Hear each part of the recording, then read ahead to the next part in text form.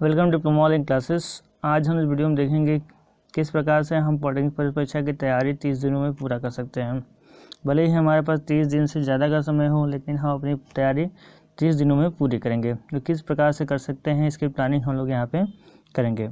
आइए देखते हैं। सबसे पहले हम लोग सिलेबस की बात करेंगे तो सिलेबस में हमारे पास मैथ है, फिजिक्स है और केमिस्ट्री है।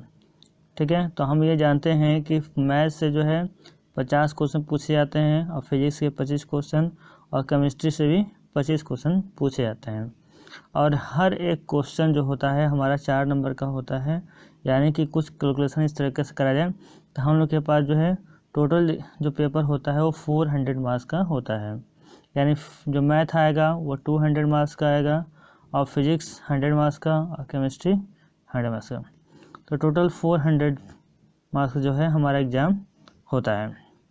अब कुछ लोग क्वेश्चन ये पूछते हैं कि हम इन चार सौ में से कितना नंबर ले आएँ कि हमें अच्छा कॉलेज मिल जाए या फिर गवर्नमेंट कॉलेज हमको मिल जाए।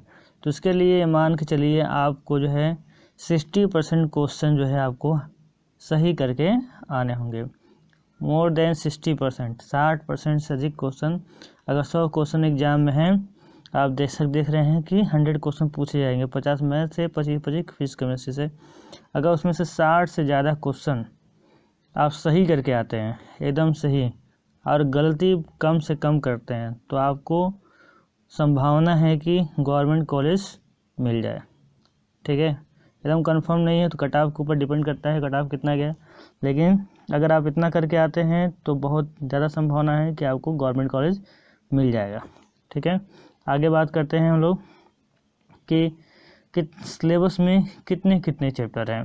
तो सिलेबस में हम लोग ने इससे पहले वाले वीडियो में सिलेबस देखा है तो सिलेबस को उसमें डिटेल से समझा है किस सब्जेक्ट में कितने टॉपिक हैं।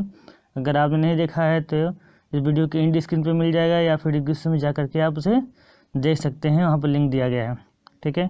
तो यहाँ पर हम लोग जानते हैं कि हम लोग के पास जो है सिलेबस में मैथ से तीस चैप्टर है, और फिजिक्स से बीस चैप्टर और केमिस्ट्री से बीस चैप्टर इतने हैं, बहुत बड़े बड़े चैप्टर नहीं हैं तो हम लोग इसे कैसे कंप्लीट करेंगे?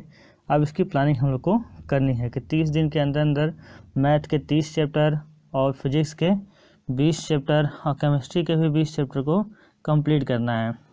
ठीक है? तो आइए देखते हैं।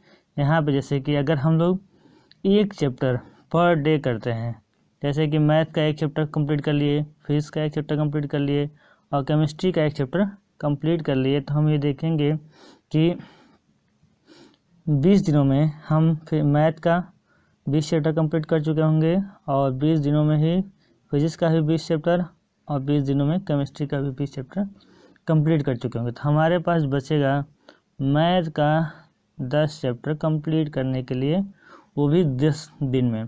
तो ऐसा नहीं है कि 10 दिन तक हम मैथ पढ़ते ही रहेंगे, तीसों दिन तक। अगर हमारे पास दस चैप्टर बचे हुए दस दिन में कंप्लीट करने के लिए तो इसे हम लोग जो है पाँच दिन में कंप्लीट कर लेंगे और बाकी के पाँच दिनों में रिवीजन करेंगे। पाँच दिन में कैसे कंप्लीट करेंगे?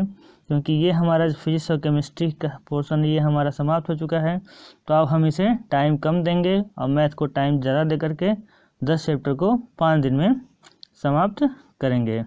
वो किस प्रकार से? देखिए, आपने बता रखा है कि अब नेक्स्ट टेन डे में क्या करना है हम लोग को?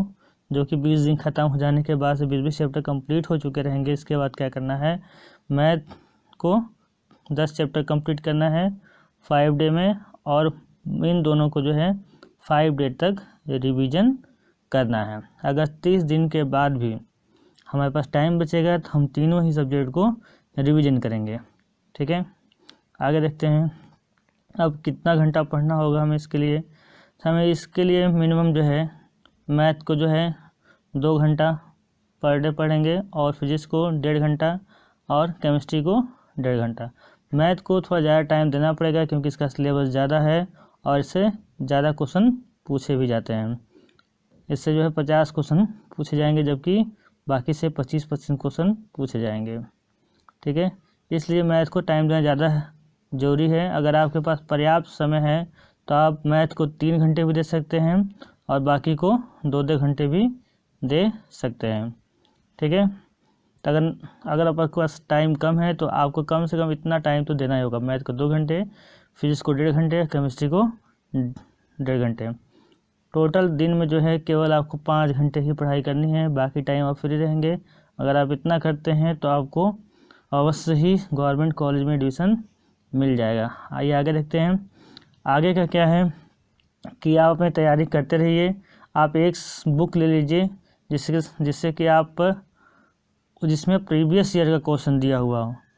पिछले दस साल का क्वेश्चन दिया हुआ हो, उसे सॉल्व करिए और हाई स्कूल के बुक अगर आपके पास हो तो फिजिक्स केमिस्ट्री और मैथ की हाई स्कूल के सारे सब्जेक्ट सारे सब्जेक्ट को, फिजिक्स केमिस्ट्री और मैथ को, सारे सब्जेक्ट और सिलेबस के अकॉर्डिंग हर एक चैप्टर को एक बार पूरा रीड कर लीजिए। उसके बाद से प्रीवियस ईयर के पेपर को सॉल्व करिए।